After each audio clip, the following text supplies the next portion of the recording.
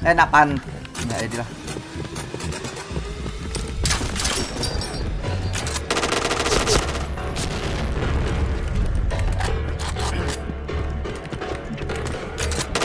Headshot.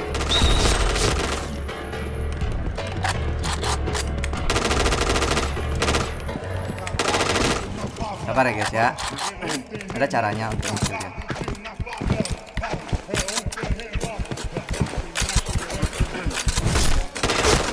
dia. Chain headshot. Itu caranya ya guys ya.